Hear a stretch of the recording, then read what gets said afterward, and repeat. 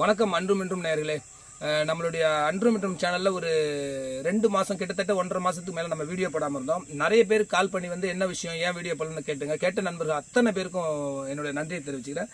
இதுதான் என்னுடைய அம்மா. ஆல்ரெடி வீடியோக்கு முன்னாடி பார்த்துருப்பீங்க. இவங்களுக்கு வந்து உடம்பு முடியாத காரணத்தில் கொஞ்சம் ஹாஸ்பிட்டல் வீடு இந்த மாதிரி ஒரு இருபது முப்பது நாள் இதில் அலைஞ்சிட்டு இருந்துட்டோம். அப்புறம் அந்த மீடியில் அந்த கொரோனா பிரச்சனை. அதனால் வந்துட்டு வீடியோ போட முடியாமல் இருந்தது. அதுக்கு நான் மிகப்பெரிய மன்னிப்பு கேட்டுக்கிறேன் உங்கள்கிட்ட இதுக்கப்புறம் தொடர்ந்து எங்கள் சேனலில் கண்டினியூவாக வீடியோ வந்துட்டு இருக்கோம். நீங்கள் இது இதுக்கு முன்னாடி கொடுத்த சப்போர்ட் மாதிரி தொடர்ந்து எங்களுக்கு சப்போர்ட் பண்ணணும்னு உங்களுக்கு உங்கள் பொற்பாதம் தொட்டு நான் வேண்டி கேட்டுக்கிறேன் மக்களே. இதுக்கப்புறம் கண்டினியூவாக வீடியோ வந்துட்டு இருக்கோம். பார்க்கலாம். வணக்கம் அன்றும் என்றும் நேர்களே இப்போ நம்ம எங்கே இருக்கன்னு பார்த்தீங்கன்னா திருநாவலூர் பக்கத்தில் இருக்கிற பத்தாப்பேட்டையில் இருக்குங்க. இங்கே வந்து கேள்விப்பட்டோம் மீன் வந்து இந்த குறவு மீன் கிராமத்தில் ஏரி குறவு மீன் பிடிக்கிறாங்கன்னு கேள்விப்பட்டோம். அதனால குறவு மீன் வாங்கி சூப்பராக குழம்பு வைக்கலாம்னு வந்திருக்கோம். ஆனால் குறவு மீன் கிடைக்குதான்னு தெரியல. நம்ம போய் பார்க்கலாம் இன்னைக்கு. ஏன்னா எங்கள் டீம்லாம் எங்கன்னு பார்த்தீங்கன்னா எல்லாம் இந்த கொரோனா பிரச்சனையால வந்து டீம் எல்லாம் அவங்க ஊரில் இருக்காங்க. ரெண்டு பேர் சேர்ந்து வர முடியல. நானும் கார்த்தி மட்டும் வந்திருக்கோம். இன்னைக்கு குறவு மீனை வாங்கி சிறப்பாக ஒரு அருமையான கிராமத்து ஸ்டைலில் ஒரு குழம்பு வைக்கலாம் மக்களே. இது பத்தாப்பேட்டை இல்ல மாம்சே. வத்தாதப்பேட்டை ஓ வத்தாத பட்டினா எப்பயுமே தண்ணி வத்தாதனால வத்தாத பட்டன்றியா? சிறப்பாக செய்யலாம் மக்களே வாங்க.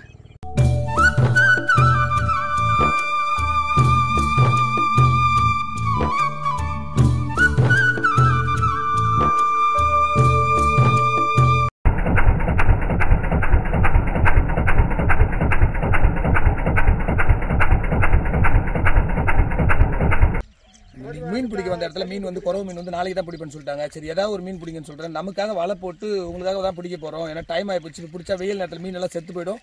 ஆனால் உங்களுக்காக ஒரு ஒரு கிலோமீட்டர் பிடிச்சி தரேன்னு சொல்கிறாங்க வலை போட்டு பிடிக்க போகிறாங்க நம்ம போய் பார்க்கலாம் வாங்க.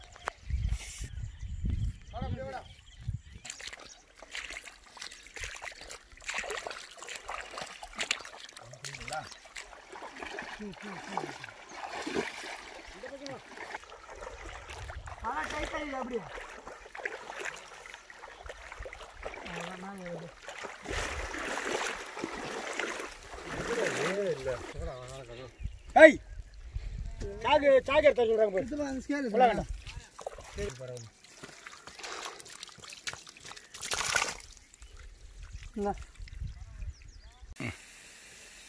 நமக்கு தான் மீன் பிடிச்சி கொடுத்தாங்க. ஆ. இந்த நேரத்தில் பிடிக்க மாட்டேன்னாங்க. ஆ. அவங்களுக்கு ரொம்ப நன்றி. சரி சரி. ரொம்ப நன்றி நண்பா. சரி ரைட்டுங்களா? வரட்டுமா? சரி சரி நான் அது மீன் வாங்கிட்டேடா? ஆ வாங்கியாச்சு மாம்சே ஒன்றரை கிலோ கேட்டால் ரெண்டு கிலோ கொடுத்துருக்காங்க அரை கிலோ எக்ஸ்ட்ராவே அரை கிலோ எக்ஸ்ட்ரா ஃப்ரீயாக கொடுத்துருக்காங்க. ஃப்ரீயாக கொடுத்துருக்காங்க. சரி சரி சரி. எடுத்து போட்டு எடுத்து போட்டு நம்ம ஏரியில் இருக்கோம் கேரி பேக்கெல்லாம் யூஸ் பண்ணக்கூடாதுனாங்க அதனால வந்து எடுக்காம வந்துச்சு. ஏதோ பையில் கொடுக்குறாங்க. எடுத்துக்கலாம்.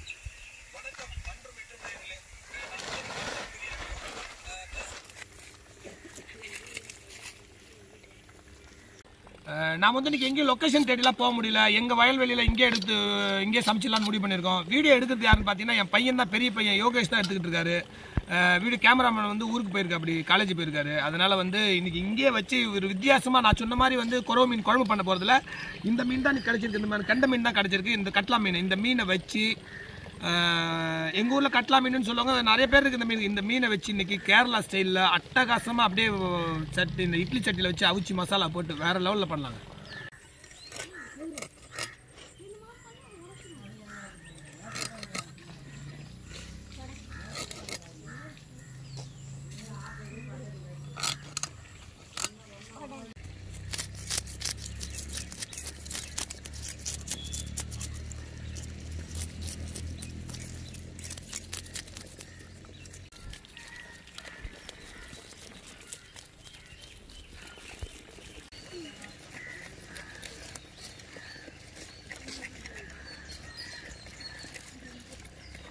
இது என்ன பண்ணணும்னா ஃபுல்லாக இல்லாமல் இந்த மாதிரி கட் பண்ணிடணும்.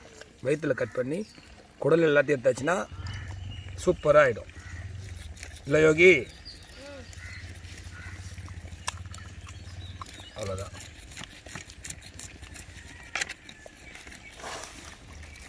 உள்ள குடல் எல்லாத்தையும் எடுத்தாச்சு.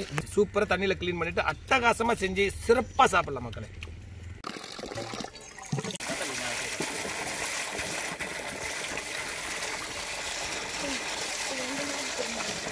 மிளகா பொடியல்னா கூட வேற உப்பு கல்லாவோ உள்ள தடவி சும்மா ஆனால் காண்டி சாப்பிட்டாவே டேஸ்ட் தனி மரியாதைங்க.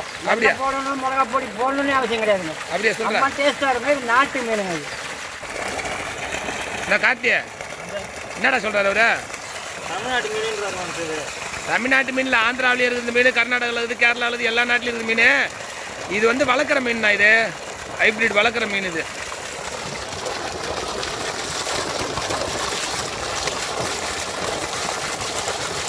என்ன கார்த்தி பண்ணுற இலை எடுத்துருக்கியா சரி சரி அரை இலை வதங்கணும்ல? அன்னைக்கு இந்த ம- வளர்ப்பு மீன் வாங்கிட்டு வந்திருக்கோம். இந்த மீன் வந்து வேற விதமாக செய்ய போகிறோம் அதாவது மசாலா போட்டு அப்படியே வந்து எண்ணெய் இதில் இட்லி சட்டியில் வச்சு அவிக்க போகிறோம் அட்டகா சூப் ரொம்ப ரொம்ப ரொம்ப சூப்பராக இருக்கும். ஏன்னா வேற லெவல்னு சொல்லி பார்க்குறேன். அந்த வேற லெவல் நம்ம சொன்னாலே சில பேர் வந்து நம்மளை கிண்டல் பண்ணுறாங்க அது வந்து காப்பி ரைட் பிரச்சனை மாதிரி ஆகிப்போச்சு அதனால வந்து அட்டகாசமாக நம்ம பண்ணுறோம் இன்னைக்கு. அதை செய்யறதுக்கு முதல்ல என்ன பொருட்கள் தேவைன்னு நம்ம பார்த்துக்கலாம் மக்களே.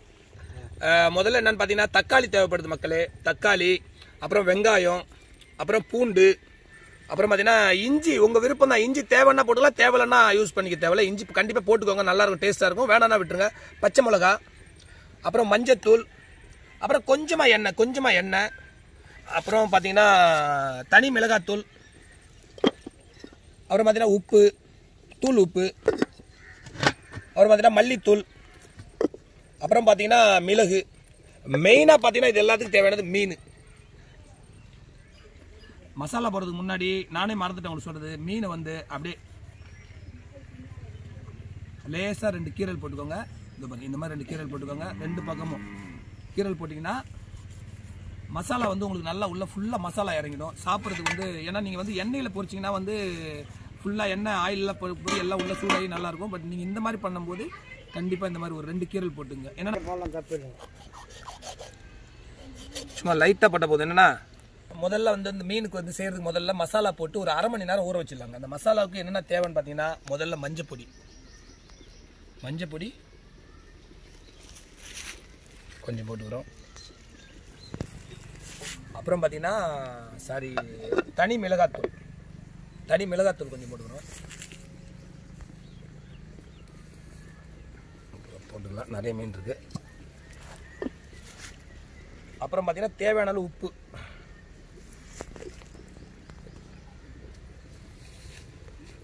உப்பு.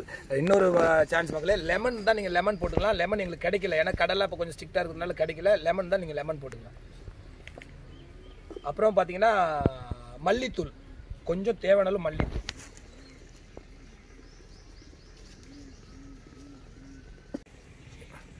இது நல்லா மசாலா போட்டு மிக்ஸ் பண்ணிட்டு இதுக்கு தேவைன்னா நீங்கள் லெமன் போட்டு கூட ஒரு ரெண்டு லெமன் போட்டுக்கலாம். லெமன் போட்டிங்கன்னா மீன் வந்து ரொம்ப சாஃப்ட்டாகவும் நல்லா இருக்கும். ஆல்ரெடி மீனே சாஃப்டாக தான் இருக்குது நான் என்ன பண்ணுறேன் லெமன் இல்லாத காரணத்தில் தண்ணி ஊற்றி நல்லா வந்து நான் பிசைஞ்சிக்கிறேன் இதை.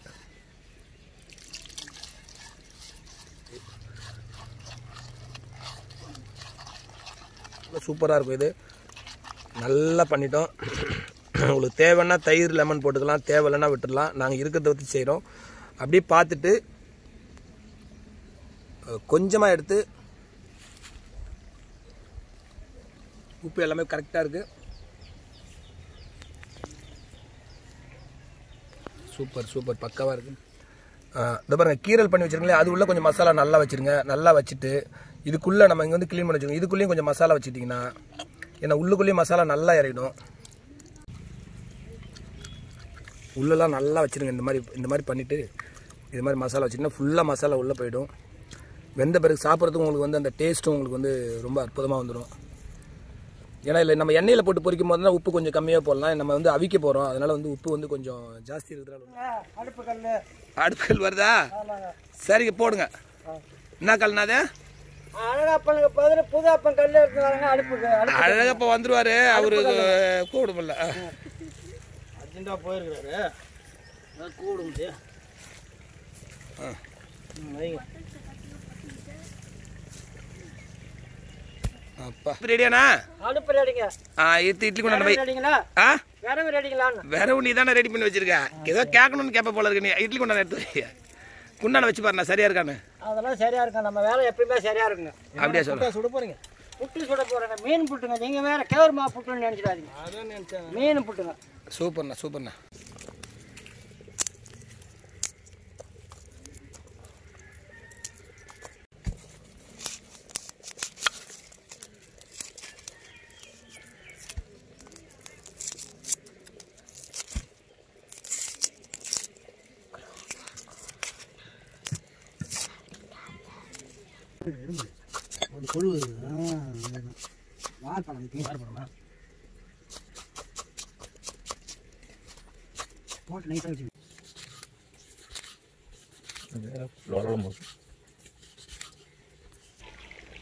முதல்ல என்ன பண்ணணும்னா முதல்ல மசாலாலாம் போட்டு வச்சுட்டோம். அதுக்கப்புறம் ரெண்டாவது மசாலா ரெடி பண்ணுறோம் அதுக்கு வந்து மிளகை போட்டு நல்லா இடிச்சுக்கிறோம் ஆ பார்த்து விடுங்க எண்ணெய் அடிச்சிடாதீங்க.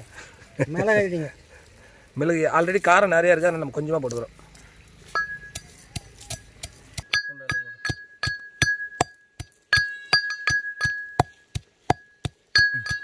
அடுத்தது பூண்டு.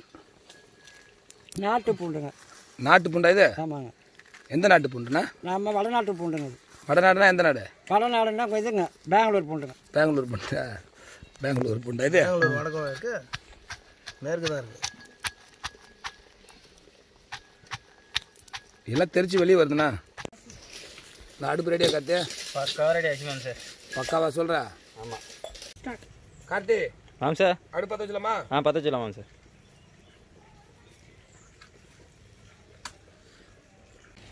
எண்ணெய் சட்டி நல்லா காஞ்சி போச்சு மக்களே. த எண்ணெய் ஊற்றுரும் சுத்தமான செக்கில் அந்த கடல எண்ணெய் எண்ணெய் காஞ்சி போச்சு. கட் பண்ணி வச்சிருக்கிற வெங்காயத்தை போடுறோம்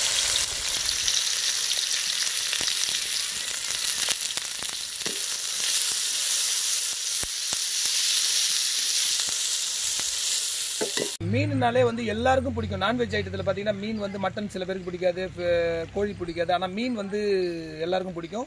எல்லாருக்கும் பிடிச்ச உணவு வந்து மீன். இந்த மீன் பார்த்தீங்கன்னா குழந்தைகளுக்கும் சரி எல்லாத்துக்கும் விரும்பி சாப்பிட்லாம். கண் பார்வைக்கு ரொம்ப நல்லது. சீக்கிரமாக செருமானமாகும். ஹார்ட்டுக்கு ரொம்ப நல்லது. இந்த மாதிரி நிறைய விஷயங்கள் இந்த மீனில் இருக்குது மீன் அதாவது சீ ஃபுட் அதாவது கடல் உணவுனாலே வந்து எல்லாத்துக்குமே நன்மைகள் தான். கடல் மீன் ஆகட்டும் கடல் நண்டாகட்டும் கடல் நத்தையாகட்டும் அது மாதிரி எல்லாமே நல்ல விஷயம் தான். இது வந்து ஏரி மீன். ரொம்ப ருசியா இருக்கு. நீங்க ஒரு தடவை இந்த நிறைய பேர் நீங்க என்ன பண்ணீங்கன்னா வாங்க மாட்டீங்க. அந்த கடையில கூட நான் கூட சென்னையில பார்த்துருக்கேன். நிறைய மார்க்கெட்ல வந்து இந்த மீன் இருக்கும். யாரும் வாங்குறது இல்ல அது ருசி எப்படி இருக்கும் அப்படின்னு தெரியறதில்ல. உண்மையிலே ஒரு நாலு கிலோ இல்ல அஞ்சு கிலோ சைஸ்ல வாங்கி அதை கட் பண்ணி சாப்பிடும்போது அது ஒரு புதுவிதமான டேஸ்ட் அவங்களுக்கு தெரியும். நீங்களும் இந்த மாதிரி ட்ரை பண்ணி பாருங்க.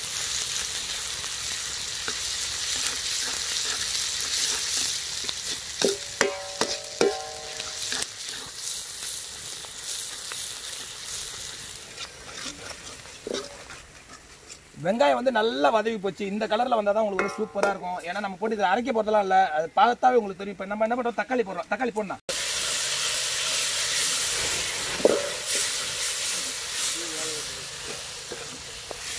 கொஞ்சம் உப்பு என்ன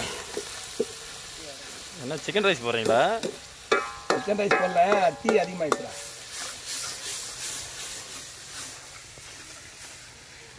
பொடி நம்ம ஆல்ரெடி உப்பு போட்டிருக்கோம் மசாலால உப்பு போட்டிருக்கோம். இந்த வதங்கணுன்றதுக்காக கொஞ்சமா நம்ம போட்டுக்கிறோம் ஏன்னா போட்டிருக்கிற மீன்லயும் போட்டிருக்கோம். திரும்ப இந்த மீனுக்கு போட்ட மசாலால மீதி இருக்கு அதையும் நம்ம இதுல போட போறோம். நான் உப்பு தேவையான இருக்கும் கொஞ்சமா நம்ம போடுவோம்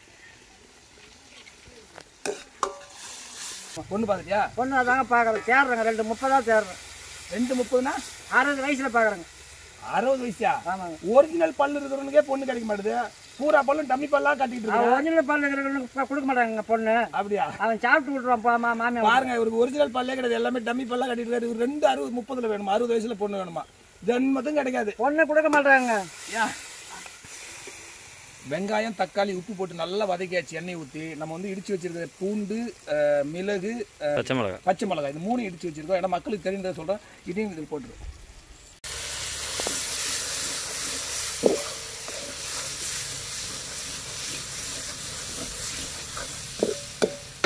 மஞ்சப்பொடி கொஞ்சமாக மஞ்சப்பொடி போட்டுருவோம்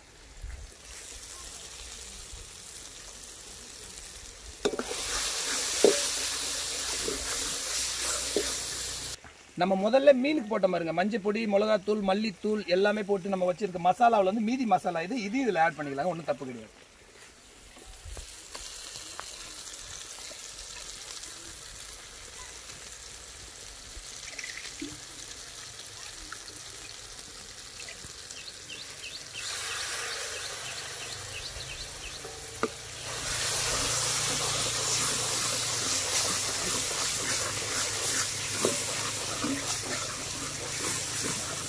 மசாலா சூப்பராக நல்லா திக்காக வந்துச்சு. ரொம்ப தண்ணியாக வைக்காதீங்க. ஏன்னா ரொம்ப தண்ணியாக வச்சிங்கன்னா நீங்கள் வந்து இட்லி சட்டியில் வச்சு அவிக்கும் போது வந்து அதுவும் கொஞ்சம் ஆவி பட்டிங்கன்னா தண்ணியாக போயிடும். அதனால் பார்த்தீங்கன்னா மசாலா வந்து ஓரளவுக்கு நல்லா திக்காகி போச்சு. உங்களுக்கு விருப்பம் இருந்தாக்கா கொஞ்சோண்டு கருவேப்பிலை போடுங்க ஏன்னா கருவேப்பிலை நிறைய மருத்துவ குணங்கள் இருக்குது முடி தலைமுடி வந்து கருப்பாகும். சீக்கிரம் செரிமானமாகும். இதயத்துக்கு ரொம்ப நல்லது. ரொம்ப ரொம்ப நல்ல விஷயங்கள் இருக்குது சில பேர் வந்து புதினா இது மல்லி வேணாலும் போட்டுக்கலாம். மல்லி புதினா எது வேணாலும் கொஞ்சம் கொஞ்சம் போட்டுக்கலாம். எங்களுக்கு கருவேப்பிலை பக்கத்தில் மரத்தில் இருந்தது. அதனால் நாங்கள் கொஞ்சம் போட்டுக்கிறோம். கருவேப்பிலை ரொம்ப பிடிக்கும். கருவேப்பிலை போட்டு ஒரு கிண்டு கிண்டி விட்டுட்டு ஏன் இப்போ கடைசியாக போட்டுன்னு பார்த்தீங்கன்னா அந்த வாசனை அதில் போட்டு நீங்கள் அவிக்கும் போது சூப்பராக வந்துடும் இது வாழை இலையில் வைக்கும்போது இந்த வாழை இலை வாசனையும் இந்த கருவேப்பிலை வாசனையும் நம்மளை வந்து வேறு லெவலுக்கு கொண்டு போகும் மக்களே. இந்த எண்ணெய்லாம் அப்படியே பார்த்தீங்கன்னா உங்களுக்கு தெரியும். அப்போ தான் வந்து உங்களுக்கு நல்லா வெந்து போயிருக்குன்னு அர்த்தம். மசாலா நல்லா சூப்பராக ரெடி ஆகி போச்சுன்னு அர்த்தம். நல்லா கிண்டிட்டு அப்படியே என்ன பண்ணுறோம் இறக்கிடுறோம். அப்பா இறக்கி வச்சிட்டதுக்கப்புறம் இது நல்லா இறக்கி வச்சாச்சு. இது நல்லா ஆறணுங்க. நல்லா கையால் எடுத்து மசாலா மீன் மேலே வைக்கிற அளவுக்கு நல்லா ஆறி போயிடும் ஆறின பிறகு இன்னும் திக்னஸ் கூட வந்துடும் அதுக்கப்புறம் பாருங்கள் செய்யும்போது பாருங்கள் ரொம்ப அருமையாக இருக்கும் மக்களே செய்யும்போது பார்க்கலாம். கொஞ்ச நேரம் ஆறட்டும். மசாலா பக்காவாக ரெடி போச்சு மீனுக்கு வந்து ஃபஸ்ட்டு போட்ட மசாலா கிட்டத்தட்ட ஒரு மணி நேரம் கிட்ட அரை மணி நேரம் ஊறினாலே போதும். ஒரு மணி நேரம் ஊறி போய் ஒரு மணி நேரத்துக்கு மேலே ஊறி போச்சு. மசாலாவும் பக்காவாக ரெடி போச்சு இப்போ என்ன பண்ண போகிறேன்னு பார்த்தீங்கன்னா கொஞ்சமாக மசாலா எடுக்கிறோம். இந்த மசாலா கொஞ்சமாக அங்கே வைக்கிறோம். இந்த மசாலா வச்சுட்டு அப்படியே கொஞ்சம் தடவி விடுறோம் இப்படியே பண்ணுறோம் ஒரு மீன் எடுத்து இந்த மசாலா மேலே இப்படி வைக்கிறோம். இப்படி காட்டு கீழே பிடி. மசாலா மேலே வச்சுட்டு திரும்ப கொஞ்சம் மசாலா எடுத்து அப்படியே மீன் மேலே அப்படியே வச்சுட்டு அப்படியே என்ன பண்ணுறோம் அப்படியே கட்டுறேன் அப்படியே மடிக்கிறோம். கொஞ்சம் இலை வந்து பெரிய இலையாவே எடுத்துங்க. ரொம்ப சின்ன இலை இருந்தால் வெளியில் தெரியக்கூடாது மீன். வெளியில் தெரிஞ்சால் ஏன்னா சீக்கிரமாக அது ஒரு மாதிரி ஆகிடும் அப்படியே வச்சுட்டு என்ன பண்ணுறோம் ஏன்னா எடுக்கிறதா? ஏங்க ஐட்டம் அதிகமாக போச்சு இந்த குண்டானில் வைக்க முடியாதுங்க. சரி. அதனால பெரிய குண்டானா மாத்திரம் சரி எடுத்துரு அப்போ எடுத்துரு எடுத்துரு எடுத்துரு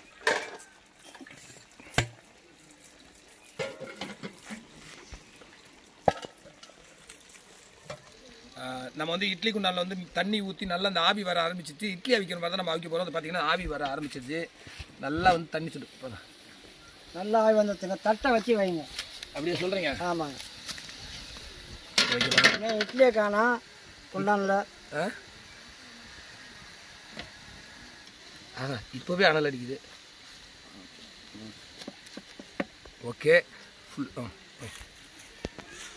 நாங்கள் சின்ன இட்லி சட்டி வச்சுருந்தோம். அதில் இவ்வளோ மீன் வைக்க முடியல. இப்போ பெருசாக எடுத்துகிட்டு வந்திருக்கோம். வச்சாச்சு ஆல்மோஸ்ட் இப்போவே பார்த்தீங்கன்னா அனல் அடிக்க ஆரம்பிச்சிருச்சு. ஒரு அஞ்சு நிமிஷம் ஒரு பத்து நிமிஷம் இருந்தால் போதும். அப்படியே மூடிட்டீங்கன்னா மீனை வச்சு நல்லா தண்ணி நல்லா கொதிக்க ஆரம்பிச்சுது கொதிக்க ஆரம்பிச்சுன்னு ஆவி வருதுன்னு சொல்லுவாங்க இட்லி வைக்கும்போது ஆவி வருதுன்னு சொல்லுவாங்க. இப்போ ஆவி வந்துருச்சு நம்ம என்ன பண்ணுறோம் இட்லி சட்டியை வச்சு மேலே மீன் எல்லாத்தையும் அடிக்க மசாலா போட்டு இலையில வச்சு கட்டி மீனை வச்சாச்சு. பத்தே பத்து நிமிஷத்துக்குள்ளே ஒரு தடவை செக் பண்ணி பார்க்கலாம் மீன் அட்டகாசமாக வந்துடும் சாப்பிட்றதுக்கு அவ்வளோ சூப்பராக இருக்குங்க. இந்த சுகர் பேஷண்ட்டு ஆயில் சேர்த்துக்காதவங்க எல்லாமே இந்த மாதிரி நீங்கள் செஞ்சு சாப்பிடுங்க. ஆயில் வந்து நம்ம வதக்கும் போது கொஞ்சமாக தான் சேர்த்துட்டு அது ஒரு பிரச்சனையே கிடையாது. ரொம்ப அருமையாக இருக்கும். ஒரு பத்து நிமிஷம் வெயிட் பண்ணுங்க எப்படி பார்த்துலாம் பத்து நிமிஷத்துக்கு மேலே ஆகி போச்சு. மீன் வந்து சூப்பராக வெந்து போயிருக்குன்னு நினைக்கிறேன். வாசனை பார்த்தீங்கன்னா வேறு மாதிரி வருது. இன்னொரு முக்கியமான விஷயம் என்னன்னா நாங்கள் வந்து கடலை எண்ணெய் ஊற்றணும் நீங்கள் வந்து தேங்காய் எண்ணெய் கூட சேர்த்துட்டா இன்னும் வாசனை இன்னும் ரொம்ப நல்லா இருக்கும். இப்போ நம்ம திறந்து பார்த்தலாம் திறந்துடலாமா காத்தே ஆ திறந்துடலாமா சார். சூப்பராக வெந்து போச்சு. இந்த வாசனை பார்த்தாலே அப்படியே வந்து அட்டகாசமாக இருக்குதுங்க. வேற மாதிரி இருக்குது. எடுத்து வந்து சாப்பிட்டு பார்த்தலாம் எனக்கே வந்து சாப்பிடும் போல. அப்படியே ஒரு மாதிரி வாசனையே வேற மாதிரி இருக்குது. கண்டிப்பாக எடுத்து சாப்பிட்டு பார்த்துறோம் சாப்பிடுவா காத்தே ஆ சாப்பிடலாம் ஒன்று பிரித்து பார்த்தலாம் ஓகேடா. சிறப்பு சிறப்பு.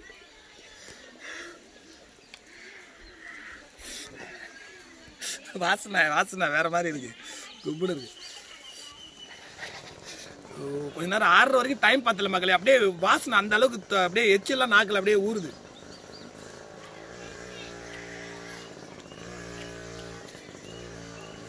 உண்மையிலே சொல்ல போனால் இந்த மிளகு காரம் இந்த நம்ம போட்ட மசாலா காரம் இந்த வெங்காயத்துக்கு அப்படியே இடிச்சு போட்டது சொல்ல முடியாத ஒரு சுவைங்க. வேற லெவலில் இருக்குதுங்க. விட்டால் எல்லாத்தையும் நானே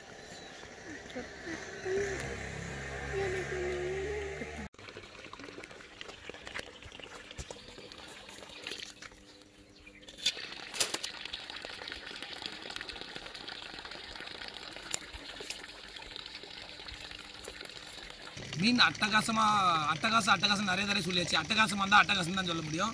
ரொம்ப சூப்பராக இருக்குங்க. நானும் ஒரு மீன் சாப்பிடணா சாப்பிட்டு பார்த்துருந்தேன் புஷ்ப பொட்டல் மாங்காட்டின்னு பார்த்தேன் ஒரு சேர் பொட்டல் மாங்காட்டின்னு அந்த கடையில் மீன் பொட்டல் மாதிரி பஸ்ஸு சித்தப்பா எப்படிடா இருக்கு? வேற லெவல்ல இருக்கு. அது நம்ம டைலாக்லடா அட்டகாசம்னு சொல்லு. அட்டகாசமா இருக்கு. சரி.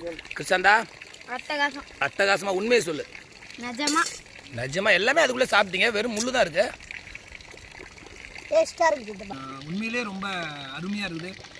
காரம் ரொம்ப கா மிதமான காரம் அட்டகாசமாக இருக்குது. உங்கள் வீட்டில் நீங்களும் இதே மாதிரி செஞ்சுட்டு எங்களுடைய நிகழ்ச்சி அன்றும் இன்றும் நிகழ்ச்சி உங்களுக்கு பிடிச்சிருந்தா எங்களுடைய நிகழ்ச்சியை லைக் பண்ணுங்கள் ஷேர் பண்ணுங்கள் கமெண்ட் பண்ணுங்கள் மறந்துடாமல் சப்ஸ்கிரைப் பண்ணுங்கள் அந்த பெல் பட்டன் ஆற்று சொல்கிறேன்னா சொல்லுங்க. அந்த பெல் பட்டனை ஆற்றுங்க அடுத்த ஒரு இதை விட இன்னொரு சிறப்பான வீடியோவில் உங்களை சந்திக்கிற மக்களே நன்றி வணக்கம். ஏன்னா மீன் சாப்பிடணும்.